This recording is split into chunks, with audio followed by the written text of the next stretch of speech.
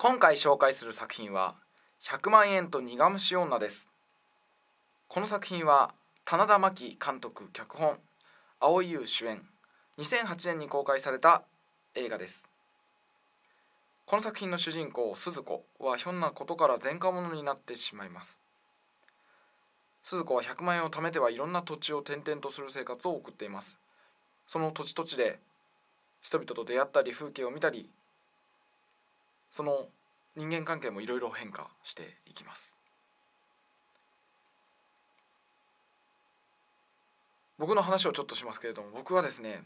肝心なことを言うのが苦手なんですね。これを言うと例えば人間関係が壊れてしまうんじゃないか。そう思うと結局そこで何も言えずに自分の喉のところから飲み込んで終わらせてしまうことがとっても多いんです。やっぱり何かが壊れたりするのっていうのはあんまり気持ちのいいもんじゃないなって思ってしまうんですよね。やっぱり怖いんです。だから波風を立てないように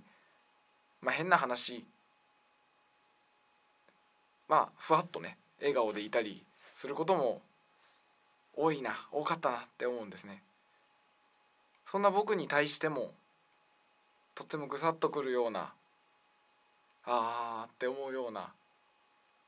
セリフがこの映画の中にありました。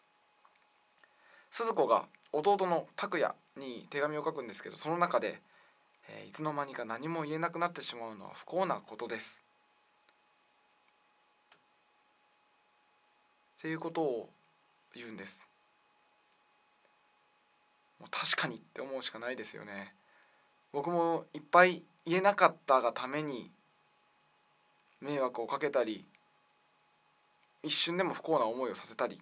嫌な思いをさせたりっていうことがきっとあったんだと思います。肝心なことを言えないままだと結局前にも後ろにも右にも左にもどこにも行けなくなってしまったりするんですよね。そこに自分の今いる場所からだんだん沈んでいくそんな気がしてしまいます。きっとたとえ一瞬その言葉で誰かが傷ついたり何かが壊れたとしても本当に言うべきことっていうのは言うべきなんだと思います。この作品は鈴子を取り巻く人間関係の描写がとてもいいです。特にホームセンターで同僚中島君と出会うんですがその出会ってからの2人の関係中島君の淡い感情っていうのがなんか歯がゆかったりキュンとしたりするいい映画ですね。そしてラストのシーン。ラストのシーンが妙にリアルなんです。その辺りにも注目して是非一度ご覧ください。